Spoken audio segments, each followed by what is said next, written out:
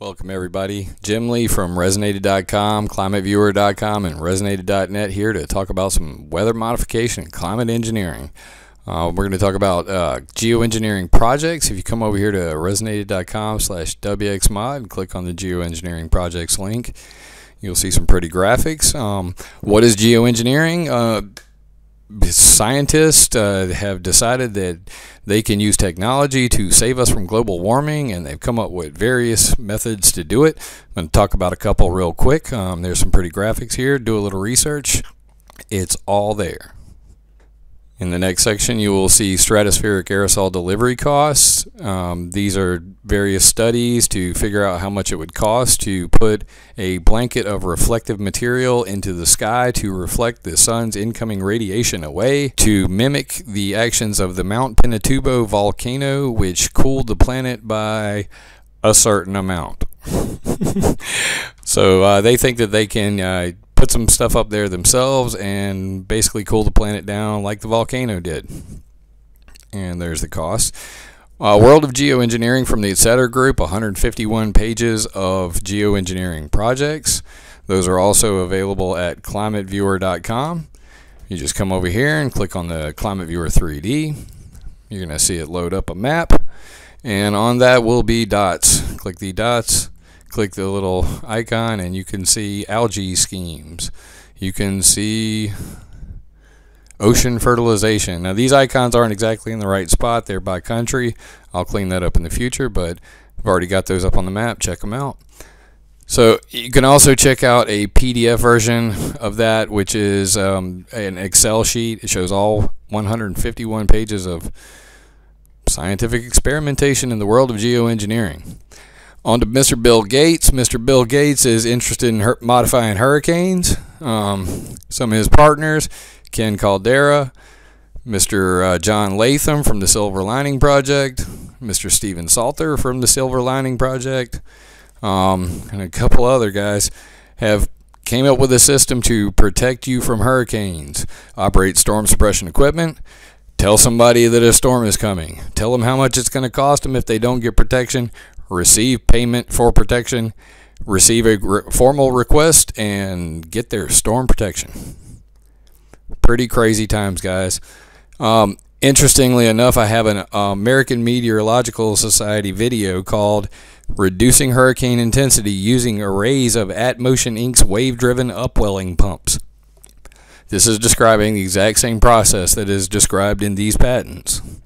So what you have is uh, flotation devices in the Gulf of Mexico. They have huge straws that go down to the bottom of the ocean. They suck cold water. They put it on the surface. It cools off the surface of the ocean, which should lower the intensity of a hurricane. Should. What I'm interested to see is will they actually be steering these hurricanes? And if Bob pays to not have it hit his oil refinery, does Tom have to take one in the face? We shall see. Mr. Bill Gates also came up with the Fund for Innovative Climate and Energy Research, FICER. This is a trust fund for research in the world of geoengineering. Um, Mr. Bill Gates also said that he would not fund experiments himself. You, um, these scientists will have to rely on public funds to uh, actually make their experiments happen. Which brings us to our first project, the Silver Lining Project. Um, this website has been deleted, but I found it over on archive.org. If you come over here, this will bring up uh, deleted websites. And uh, there you go. Research objectives. The research is currently undertaken by the distinguished scientists at the and engineers at Manchester University, Leeds University, NCAR, Pacific Northwest National Labs, Purdue University, University of Washington, Washington, and the University of Edinburgh. Um, so all of these guys are coming together to figure out how to put some boats out in the ocean to suck up uh, water vapor and put it into the clouds uh, to brighten them uh, using, I guess, uh, water vapor and sea salt. Um, Stephen Salter talks about the pros and cons of silver lining method here. Interesting little Google forum. You can watch myself and uh, Mr. Stephen Salter go a couple rounds. Uh, my latest comment has not been posted yet, so you're seeing it in this video.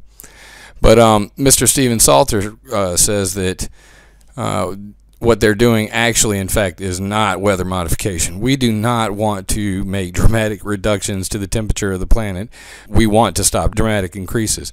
Now, he's referring to a comment that I had made um, up here that the American Meteorological Society, the World Meteorological Organization, and the National Research Council all um, pretty much all agree that weather modification is an unproven science. Now, more specifically, one stated weather modification technologies that claim to achieve such large scale or dramatic effects do not have a sound scientific basis, e.g., hail cannons, ionization methods, I would insert comma geoengineering, and should be treated with suspicion. He did not specifically address that. He tries to, but instead he just refers to the work of Sean Twomey or some other dude. Um, yeah, I'm sure his work's great, but you never answered my question. So I digress. Mr. Stephen Salter is a member of the Silver Lining Project and also a signer of the patent for the storm suppression equipment. I believe that's weather modification. So, billionaire Bill Gates chunks cash at climate cooling cloud creator. That's a mouthful. And you have two videos here. Just click here and you can hear all about it. Just sit back and let them explain it to you. On to the next project the Haida Salmon Restoration Project. This is the iron fertilization bloom that everybody's talking about, the rogue geoengineer just took it upon himself to go try it out. So what he did is he took a boat and he dumped a whole bunch of iron in the ocean. I favorited a video on YouTube. Rogue geoengineer dumps 100 tons of iron into the ocean. And they tweeted back to me, if you're interested in the project, learn the facts here. Well, I went there. Links are up here. You can check them out. Haida Salmon check out everything they did, and they're they're pretty upfront about everything they're doing. Um, the guy the, himself, he's come out and spoke. Pacific Ocean Hacker speaks out. Um, all the links are there. Our first international water geoengineering experiment goes badly in the public eye, apparently. Uh, the Stratoshield hose in the sky. This is from Intellectual Adventures Lab. Um, just heard about this. I mean, I literally only have the links from their website on this and a video. So check that out. What they're talking about doing is putting a, a hose directly into the sky using balloons, and they're going to pump it straight up there. And what they're going to pump is probably sulfuric acid. Um, they want to put a layer of sulfur up there for solar radiation management. So they're going to spray chemicals to blanket the sky and reflect away our good sunlight. Next project stratospheric particle injection for climate engineering spice. Um, this one's kind of on hold. Same idea. You got a hose going up the sky with a balloon spraying junk, pretending to be a volcano. Um, this one met the Setter group, and uh, God love them, they uh, gave them a good shellacking, and a political backlash to geoengineering begins more links on that. But as far as I know it, this one's either on hold permanently or canceled. So good deal on that one. Um, I'm firmly against SRM. Demonstrating the Spice Project and Naked Engineering there. Check those videos out. Just click these buttons to expand them. And that brings us to David Keith. No, David Keith, I can't wait to talk to you one day. Um, David Keith, Geoengineering the Planet, TED Talk, video link here. Click here. You can watch it right here on the page.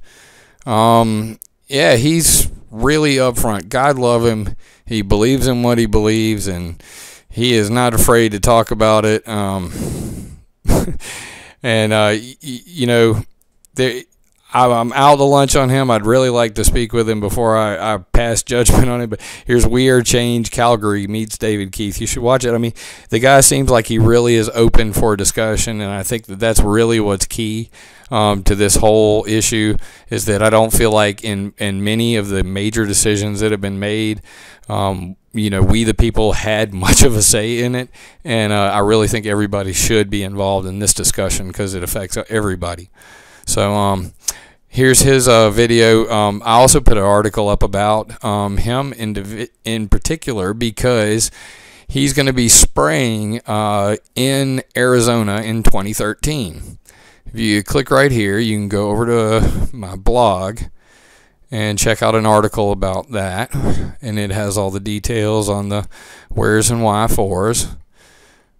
And there you go. Mr. Bill Gates with his money Keith's experiment to use tethered balloons similar to an intellectual ventures stratoshield. Bill Gates backed climate scientists lobbying for large scale geoengineering.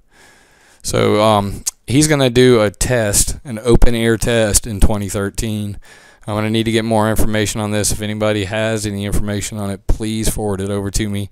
My email is at the bottom of every page right here. Comments, you mad, you jelly, email me.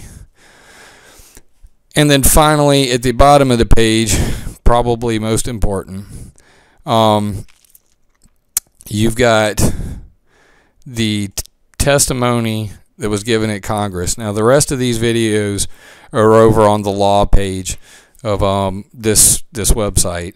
But what happened was in 2010 they held public hearings. There were three at the U.S. House of Representatives and one in the U.K where they discuss the pros and cons of geoengineering.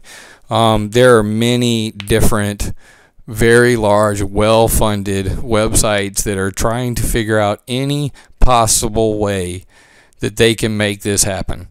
Um, they've got legal hurdles such as the Convention for Biological Diversity and, you know, the don't dump in the ocean laws and, you know, ENMOD. And there's all kinds of, um, you know, transcontinental boundary uh, rules that say, you know, if you modify the weather over here and it flo- you know, floats over my country, you're in trouble.